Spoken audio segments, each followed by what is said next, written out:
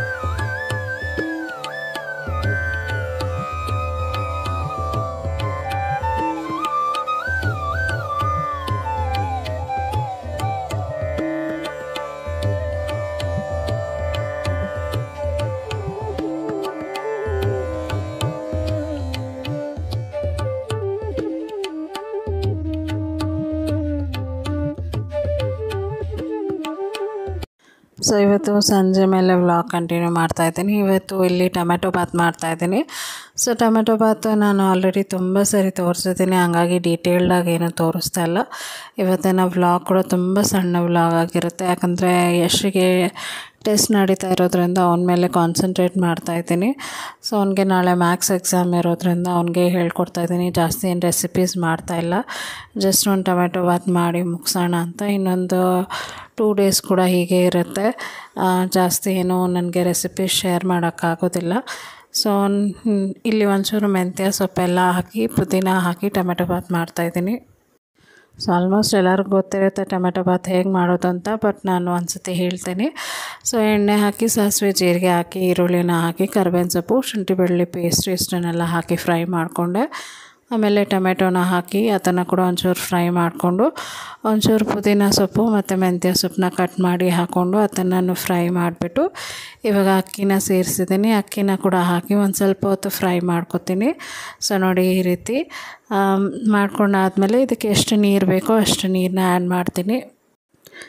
So ನೀರು ಹಾಕಿದ ಮೇಲೆ ಇದಕ್ಕೆ ರುಚಿಗೆ ಎಷ್ಟು ಉಪ್ಪು ಬೇಕೋ ಅಷ್ಟು ಉಪ್ಪು ಹಾಕ್ಬಿಟ್ಟು ಅದು ಖಾರದ ಪುಡಿ ಒಂಚೂರು ಸೇರಿಸ್ಬಿಟ್ಟು ಕುಕ್ಕರ್ಲೇ ಕ್ಲೋಸ್ ಮಾಡಿಬಿಡ್ತೀನಿ. ಸೊ ಇಲ್ಲಿಗೆ ಟೊಮೆಟೊ ಬಾತ್ ರೆಸಿಪಿ ಆಗೋಗುತ್ತೆ.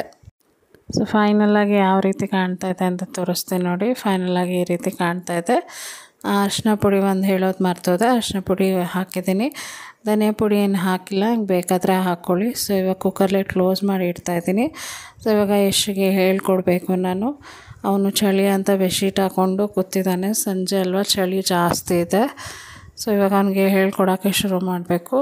ಸೊ ಇವತ್ತಿನ ವ್ಲಾಗ್ ಇಷ್ಟೇ? ಇವತ್ತಿನ ವ್ಲಾಗ್ ನಿಮ್ಗೆ ಇಷ್ಟ ಆದರೆ ದಯವಿಟ್ಟು ಲೈಕ್ ಮಾಡಿ, ಶೇರ್ ಮಾಡಿ, ಕಮೆಂಟ್ ಮಾಡಿ, ಸಬ್ಸ್ಕ್ರೈಬ್ ಮಾಡಿ. ಮತ್ತು ನಾಳೆ ಒಂದು ಹೊಸ ಒಳ್ಳೆ ವಿಡಿಯೋ ಒಂದಿಗೆ ನಾನು ಭೇಟಿ ಆಗ್ತೀನಿ. ಟ್ರೈ ಮಾಡ್ತೀನಿ ನಾನು. ಯಾವ ಥರ ವೀಡಿಯೋ ಮಾಡೋಕ್ಕಾಗುತ್ತೆ ಗೊತ್ತಿಲ್ಲ.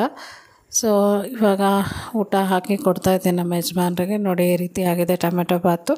ಸೊ ನಂಗೆ ಗೊತ್ತು ಇವತ್ತಿನ ವೀಡಿಯೋಲ್ಲಿ ಅಷ್ಟೇನಿಲ್ಲ ಅಂತ. ಬಟ್ ಒಂದು ಟೂ ಡೇಸ್ ಅಡ್ಜಸ್ಟ್ ಮಾಡ್ಕೊಳ್ಳಿ.